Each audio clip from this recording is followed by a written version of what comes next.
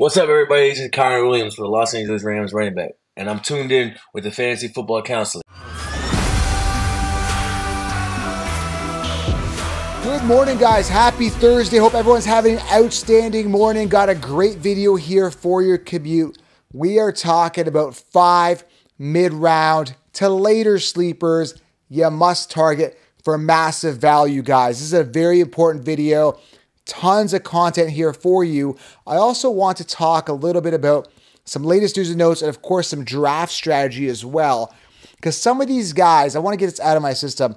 Some of these guys coming off in the early rounds aren't going to be worth it. We're going to talk about who they are a little bit, give you guys some context. We are full flow draft season. I want to make sure you guys are fully ready. I want you guys 100% going into these drafts. So if you're new to the channel, guys, smash it, tap it, slap it, hit the thumbs up, guys. It really, really helps the channel. And of course, if you have not got the 16 round draft solution, you need to secure that right now. It's going to put you guys light years ahead of everybody else in your league. You're literally going to squash your league because you're going to have a backup plan for a backup plan. You're going to have all the optimal players.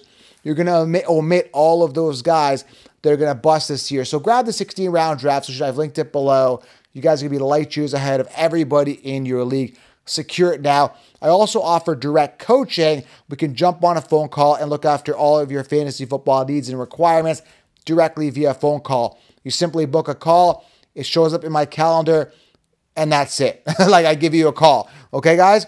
So book a half hour call with me. I've linked it below and also Patreon group. Join the fantasy frontlines for in season and also some direct access, some Q&A, waiver wire, exclusive videos, that type of thing, right? For the in season community, okay? Patreon. But the main thing you want to get is that 16 round draft solution. To put you light years ahead of the sheep, okay? So let's talk a little bit about uh, latest news and notes. There's no Breaking Brad here today. Just me. We're to get to it. But I can imitate Breaking Brad, can't I? We now, I can't do it. We now have breaking news. Okay, I don't do it as good. I, I just don't. I tried, right? All right, so uh, let's get to it. Um, Bo Nix is uh, labeled a starter. I mean, this I saw this coming. I saw the talent. I've got a lot of Troy Franklin on my bench as like a deeper stash, but he hasn't been doing too well in camp. Hopefully things kind of start turning up for him, but because he's got the report, they played together in college, Bo Nix and Troy Franklin. There could be something there, but since he's named starter, maybe things will open up for Troy Franklin. Good news. I mean, if you are in a you know a two quarterback league, super flex could be a good third quarterback with some upside here. I always get question, you know, I'm always questionable about quarterbacks that are rookies, right? You always got to question that situation. Be cautious if you are drafting them. Again, more in deeper leagues would be good, but I see some upside here with Bo Nix, finally labeled to start, okay? Uh, other news Saquon Barkley had some sort of back issue. I guess he went off the field. I think it was a couple days ago, came back on. Anyway, he practiced yesterday. Really good news. I got some Saquon Barkley stock. That's good to hear. Uh, Tyreek Hill had the thumb, you know, issue going on. It's minor. He should be ready week one. Nothing to worry about according to what coaches are saying. Good news there. Chuba Hubbard, who I have no stock in as well, had a knee issue. He's back to practice, was back yesterday. Good news for Chuba Hubbard. Owners or potential owners. Now, again, when Jonathan Brooks comes back, whenever he does, week five, hopefully, maybe earlier, then I really don't have any desire, you know, for Chuba Hubbard. I, years to wow me, guys. I'm not wow, so no Chuba for me. No, no Chup Chup Chuba for me, okay? Also, uh, final thing in the news I want to mention here, unless something breaks between the time of this recording and the morning here, because I record this the day before, Jaylen Warren uh, not practicing. Apparently his hammy is not that serious. No practice right now, but Apparently, coach is saying it's not that serious. So maybe Jaylen Warren week one could be back. We know how those hammies linger. Um, you know, hopefully he's okay. All right. All right. So let's get to these uh, mid round sleepers. I do want to talk a little bit about. Again, I've talked and addressed this in a ton of other videos. If you're new to the channel, smash it, tap it, slap it. This is going to be news to you. But there's a lot of disaster going on, especially in the early rounds. I know we're talking mid rounds here, but the, where I'm trying to get to is this is that some of these guys I'm going to recommend, these five players, could genuinely and will outperform some of these earlier round guys. Quick example here, right? Keenan Allen coming off very early, round four to five. DJ Moore coming off round three to four, right? Nico Collins coming off round two to three.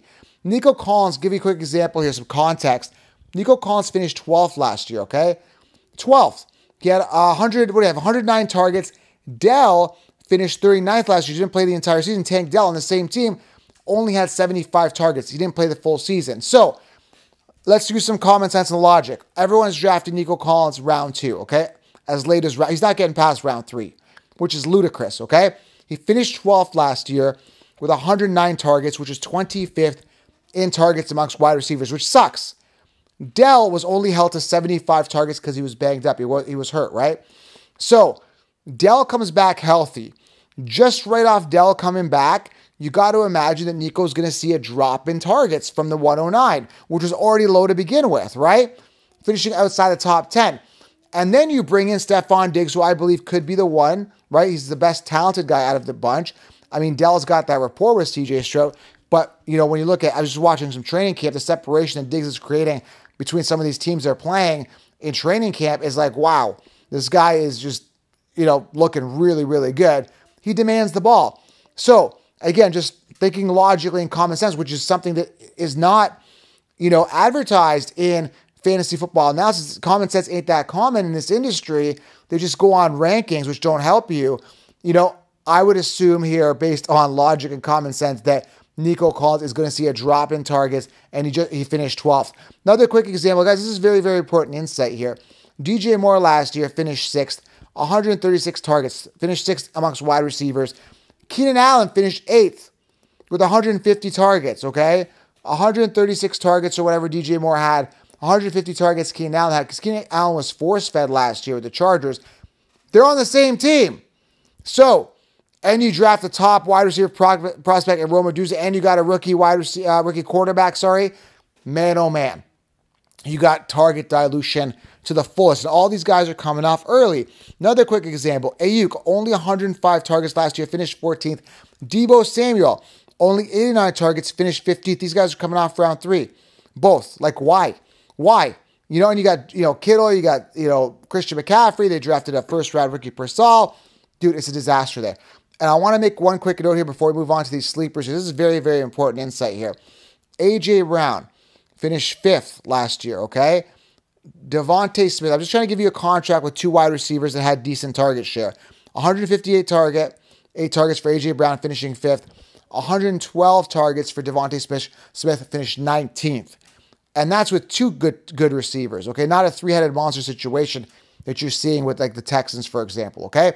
Or even the Bears and that's with you know a proven Jalen Hurts. So again, DeVonta Smith, who was the two on that team, and one person is going to have to go to the two position, finish 19th with 112 targets. And again, to put that in context, okay, just to give you guys some point of reference. Anyways, something to think about in those early rounds. Point being, as we're getting to these mid-round sleepers, dude, these guys could get flooded with volume, right? And you're you know you're getting these guys for a, an amazing value. Okay, do you know what I'm saying? So what I've been doing, particularly with wide receiver, is going mid to late rounds, and I explain all this in the 16 round draft solution. All right, let's rip through these five here for you mid round sleepers. The first one is sitting at 71 overall, wide receiver 36 is Calvin Ridley. Finished 18th last year with 136 targets, over 1,000 yards, and eight, eight touchdowns. Calvin Ridley and Will Levis could really be a thing this year absolute boom upside. This entire team is being slept on. I'm telling you, okay? So when I'm looking at Calvin Ridley in the mid rounds, I'm like, dude, I'm getting a wide receiver one for massive value. Now, Hopkins is there. They got some other options, but I really genuinely believe that Ridley is the main guy there. Young, dynamic, amazing, explosive, super fast, great route runner. He is going to be an outlet for Will Levis the entire season. Love, love, love the upside Calvin Ridley. Okay. Second sleeper happens to be on the same team as Spear, Spears, sitting as RB31. Believe it or not, which is crazy, Pollard is sitting ahead of him in the rankings, which is ludicrous. And we'll get to the next guy, by third guy, who is being slept on as well. Tyjae Spears, 97 overall, RB31. There's 280 rushing attempts freed up guys, with Derrick Henry gone. This is amazing stuff. I'm telling you guys, Tyjae Spears is primed to have an amazing season. He is better than Tony Pollard. Pollard is a failure. He was a backup for years, and he, he busted last year as a starter. okay, for the Cowboys. He's not good. I don't know what part of that you don't understand. Now, mind you, they paid him. They got to play him a little bit. I, I get it. But listen, I'm not sold on him. I like the value of Spears as an RB4 on your team, okay? Because I'm going top heavy running back. There's a guy I like round five who's kind of a mid round guy as well, which I explained in 16 rounds. And then I kind of like Tyjae as kind of my RB4 with some upside, okay? I do like him. I also like a uh, bonus one for you, Trey Benson.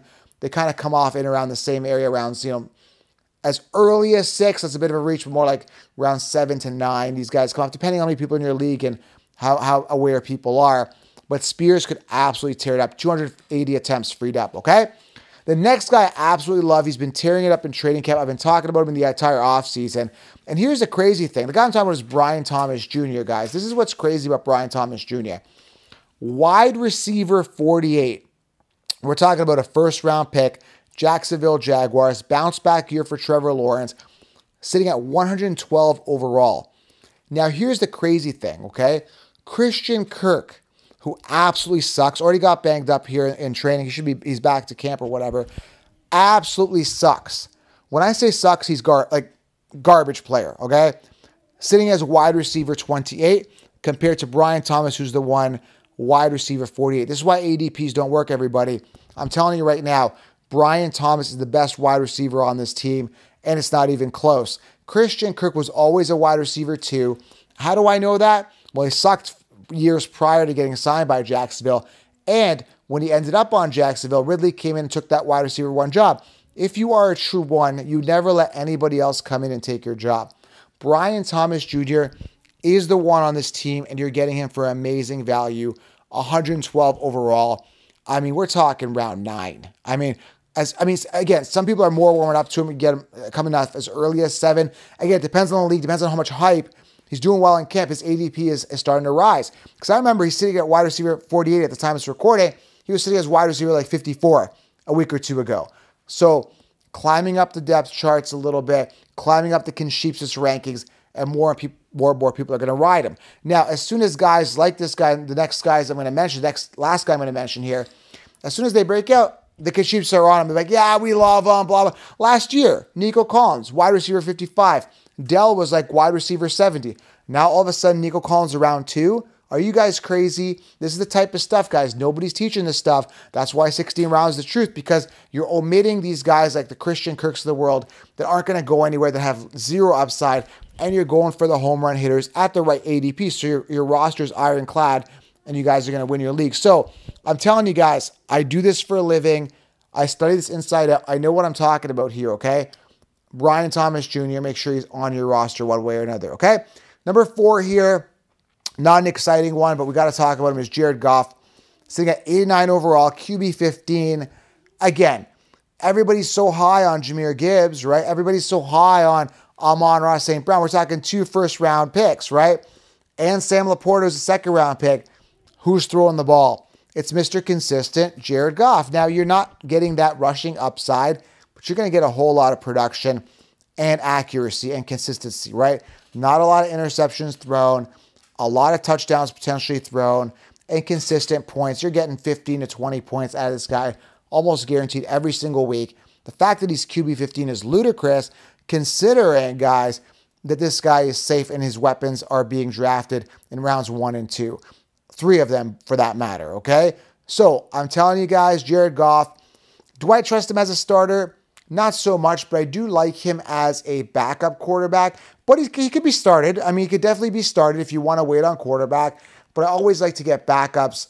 The way as low as he is, I mean, you can get yourself a Josh Allen back him up with Jared Goff, which is what I did in one league to cover your potential lack of performance, bye weeks, or potential injury. Just make sure your quarterbacks are not on the same bye week. Okay, very very important. But I mean, Jared Goff, consistent as they come, big time sleeper. Okay, the last one here before I get to him, I'm super excited about this guy. I got him on all my teams. Before I get to guys, hit that thumbs up. Really helps the channel. Smash the tab it. Let me know a mid round sleeper you love. Drop a comment below. I want to make this ultra interactive, guys, and make sure you guys do grab that 16 round draft so it'll put you guys light years ahead of the sheep. Okay, grab 16 rounds right now. The last guy here is Don't Be a Donkey, draft Ladd McConkey, wide receiver 43, 100 overall. Amazing value for a guy who's going to be the wide receiver one on his team. with minimal competition. Now they got Brenden Rice. There's some upside there. He's a seventh round pick, son of Jerry Rice. Quentin Johnston's been absolutely sucking, and Josh Palmer's not a true one. I don't even know who else they got there. Chark or whatever, who sucks as well. McConkey, tons of volume to be had here. Guys, when I look at drafting a wide receiver, especially a guy coming off round six to seven, immense value for a wide receiver one, I'm looking at who's throwing the ball. Herbert throws the ball just as much as anybody else. His foot's fine. He's back to practice. He's throwing. He'll be good to go. Herbert's going to be fine. He throws a lot. He's looking for a bounce back here coming off a down year. There's no Keenan Allen. They lost Austin Ekeler on the checkdowns. They don't have any pass catching backs unless Kimani Vidal takes a step up, which I think he could. There's another sleeper for you guys. Kimani Vidal, Vidal, whatever. Um, I just don't like Gus Bus, right? So when you look at the situation, Ladd McConkey in absolute prime position to succeed, big time mid round sleeper that's got top 10 upside written all over him, okay? Him and Brian Thomas to the absolute moon, all right? And I'm telling you, man, this is the year of the wide receiver rookies. There is some guys I don't like as much. Xavier Worthy could boom, right, with Hollywood Brown being banged up. You know, I'm just not as high on, on, on him. I just don't see he's going to get as much volume as some of these guys I'm mentioning. But, you know, there's there's a ton of wide receiver rookies that could do well, including some sleepers like maybe a Legette or Franklin. But to know exactly who to draft and when to draft them, go grab 16 rounds. And again, book a direct call with me. We could talk about it and hammer out the truth because rankings won't help you guys win. All right? Smash it, tap it, slap it, hit the thumbs up. Listen, I appreciate you guys being here. It means a lot to me.